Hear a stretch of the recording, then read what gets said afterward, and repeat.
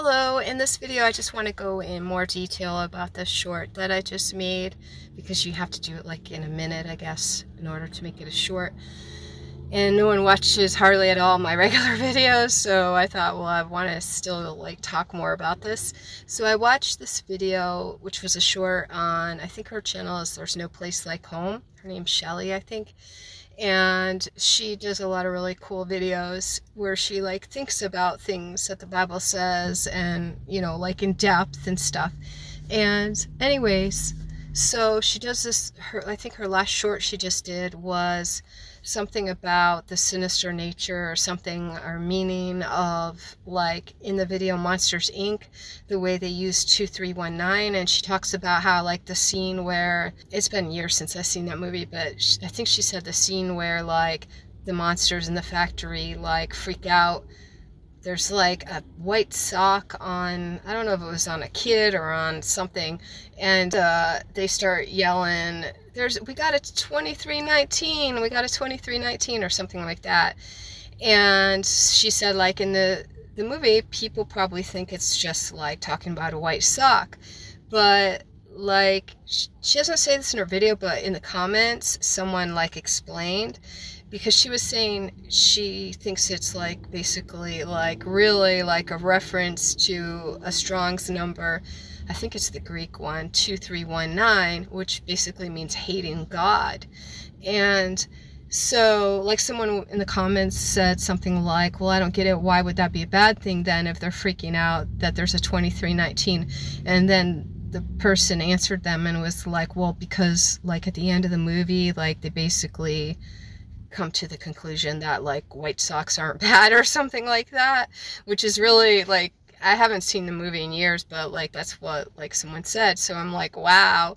And that really resonated with me because I did some videos, at least one, I think more than one, like several months back, talking about like the area code of Israel. If you look at the, I think it's the area code, if you look at the Strong's number that corresponds to it. I think it's the one in the Hebrew. It means like chosen one, right? And I've been like noticing in since 2022 when all this weird stuff started happening to me. One of the things I've been noticing because I look at the Strongs a lot in Blue Letter Bible Interlinear Tool, and I see a lot of times this weird correlation with certain things, you know, like, and I just like in our society that have like the same number and stuff. And I've had this theory for a while that you know it's some kind of like occult language that they're using with numbers. And that's like I don't know. I just really feel that way. And when she did that video that I saw today I was like wow someone's like backing me up. I mean not that she was personally like backing me personally up but just like you know, this idea that something I really have been like thinking about for a while now. She's like doing a video on, and I didn't know that about the Monsters Inc. thing, so it's just really like more more evidence for what my theory that I think is going on. I think that I could be wrong, but I know at one point I looked up, I think his name is James Strong, on Wikipedia, and I, I, felt like the guy was a Mason. I can't remember if it said he was a Mason or I just suspected, but I definitely have this theory that these Strong's numbers are being used in some kind of occult, in our face way, but hidden at the same time. And I feel like they're mocking God in some of their movies and stuff, maybe with some of the Strong's numbers. I don't know but like the Bible talks about, like, be not a mocker, you know, basically, so many words. And it sounds like there'll be mockers, you know, in the end of days. And one thing that I think about too with the Strong's numbers is Yeshua's parable um, about the strong man, you know, like.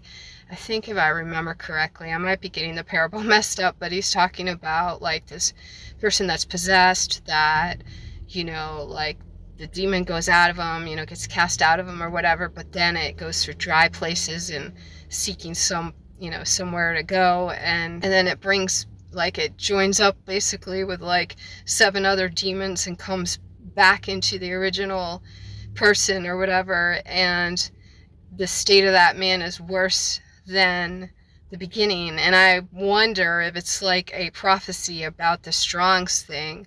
Like, I, I really do wonder that. And, you know, like, I feel like. I feel like they're doing something nefarious with these Strong's numbers, and it's just something I really believe. You know, I don't trust that, like, what they say the Strong's numbers necessarily mean. I don't trust the, you know, dots and dashes, you know, that the scribes did, you know, like who was Jesus, Yeshua, like, you know, so angry with? It was like the scribes and the Pharisees and Sadducees, I guess, like the religious establishment, you know, so anyways, I just, I mean, I do look at the Strong's numbers all the time and I've been really suspicious of them because of first off that area code thing or I don't know if it was the national code or area code something to do with their phone number system. Totally matches. I can't remember if it's chosen one or chosen or something like that for Israel.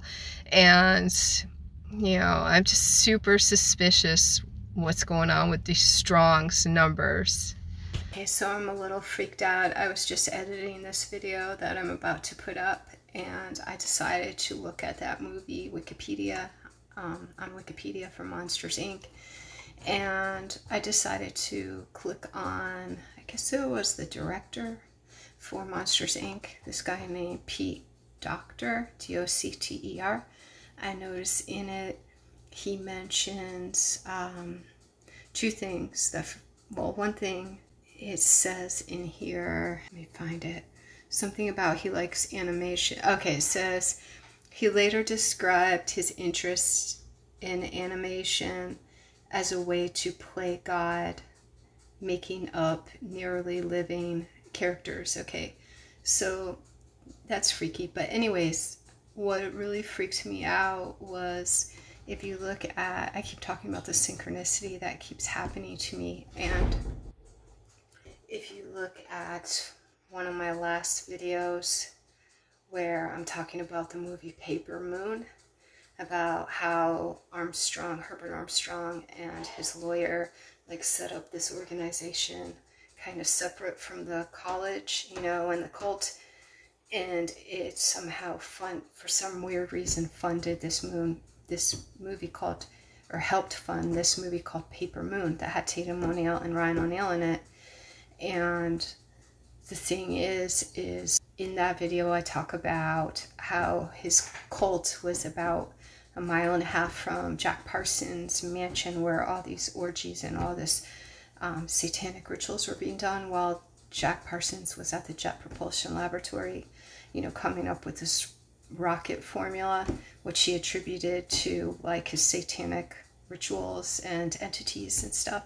Anyways, so as I'm reading this guy's thing on Wikipedia about the, I guess, the director of the movie, it says Docter's fascination with character development was further influenced by a viewing of Paper Moon.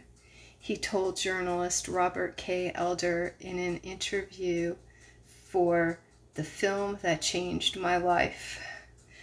And then I guess he says says I like the more character driven stuff and Paper Moon brought that home to me in a way that I had not seen in live action, really focusing on the whole story just about characters. It was almost theatrical in the same way you might see a stage show because you're locked in a room. It's got to be about characters, and yet it was so cinematic a film that couldn't be done in any other medium. It just kind of blew my socks off, which is interesting that he mentioned socks because there's the whole white sock thing, which I'm talking about with, you know, that Strong's number 2319.